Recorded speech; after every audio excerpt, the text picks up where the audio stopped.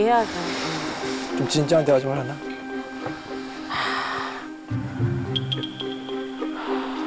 아유, 여전히 안 풀리죠. 어제 기억나?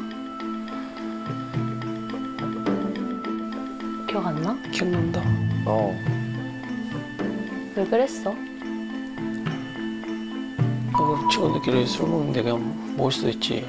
그래 내가 뭐 술 한 잔 먹는 거 가지고 지금 화내는 게 아니잖아. 아, 내가 진짜 화가 나는 건 자기가 술 마시고 싶은 마음 때문에 내 입장 전혀 생각하지 않는 것처럼 느껴져. 그렇게 잘못됐나? 아유, 그럼 지금 자기가 한 일이 그렇게 잘못이 아니라고 느껴지는 난 거야. 잘못이라고 못 느낀다. 아 삐뚤어지네.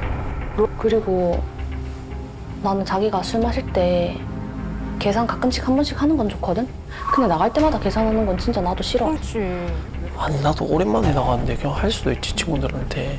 그래, 근데 이번이 처음이 아니잖아. 자기 나갈 때마다 자기가 웬만하면 꼭 내가 쓰는 데가 없 내가 술밖에 쓰는 데가 나는 없잖아. 어디다 써? 되게 서운할 것 나는? 진짜. 난 자기가 이만큼 돈을 모으는데 나도 일조했다고 생각해. 그럼 당연하지. 어, 난돈 버는 거에 자기가 집중할 수 있게 해주려고 집에 오면 집안일 많이 안 할 수 있게 내가 웬만하면 집안일도 다 해놓는 거고 배달도 안 시켜 먹고 맨날 집에서 해 먹고 나도 임신하고 나도 요리하기 싫어 나도 맨날 배달 시켜 먹고 싶어 그렇죠. 내가 이 집에 왜 있나 이런 생각이 들 것 같아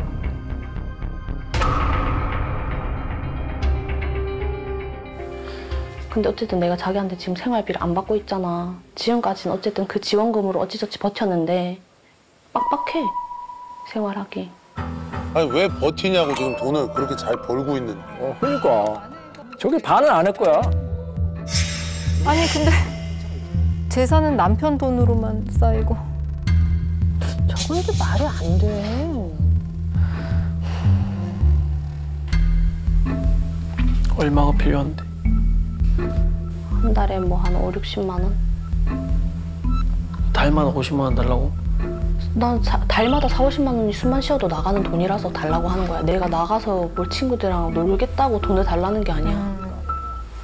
근데 50만 원 없어도 잘 살잖아. 네 필요할 때만 달라 하면 내가 줄게. 근데 한 달에 50만 원씩 달 50만 원씩 내놔라 이런 건 난 못 주겠다. 아니 생활비 딱 한 달에 얼마씩 아니, 그러면 줘야지. 본인은 포차에서 저렇게 15만 원, 20만 원씩 때리는 건 뭐 뒤지게 필요해가지고 저거 쓰는 거야? 아니야. 아니 뭐야? 무슨 소리 하는 거야? 도대체. 아니 혼자 살지 왜 결혼했어 그러면 그렇게 아까우면 진짜.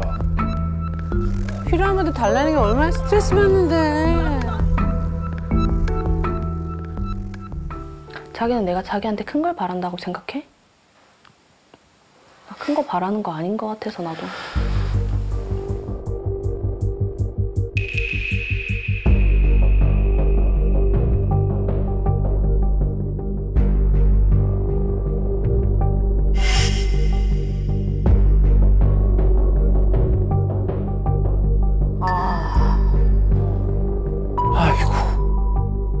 아니 그 정모 씨 영상을 보니까 어때요? 본인 모습이? TV로 보니까 확실히 좀 잘못되고 있다고 느끼네요. 지금 정모 씨한테 문제가 있는데요. 돈을 왜 모으나요? 행복을 위해서 모으는 거 아니에요? 행복하기 위해서? 근데 지금 가족의 행복이 어떻죠? 그러니까 뭐가 우선인지를 지금 우선순위를 모르시는 것 같아요. 아내한테 숨 쉴 구멍을 주셔야지 됩니다. 정말 어떻게 보면 참 이렇게 잘 어, 남편을 그러고 엄청 사랑하고 음. 좋아하고 이렇게 사는 사람 만나는 거 쉽지 않거든요. 그럼 그럼. 진짜로 본인이, 천복이야 천복. 본인이 엄청 복 받은 걸 알아야 돼. 어.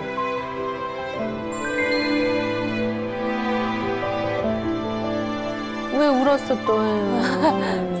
다 이렇게 사는 줄 알았어요. 주변에 결혼한 친구가 아무도 없다 보니까 다 저처럼 사는 줄 알았었는데 뭔가 잘 살고 있다고 해주시니까 좀 너무 잘하고 있어. 내가 볼 때 오늘 나온 오늘을 계기로 좀 반성하셔야 되고 우리 지은 씨는 이참에 남편한테 바라는 거 있으면 좀 얘기를 해보세요.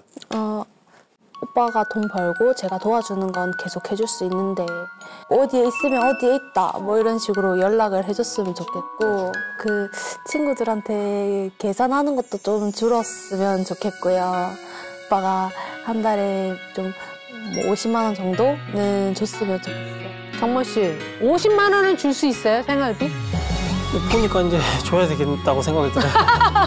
아, 보니까? 네. 어, 당연히 잘 됐다, 그지? 여왕처럼 모시면 나도 왕이 되는 건데 시녀처럼 대하면 나도 하인이 되는 거예요. 그러니까 여왕처럼 모시는 게 본인이 왕으로 살 수 있는 비법이야. 알겠죠? 오늘 잘 봤어요. 행복하세요. 예.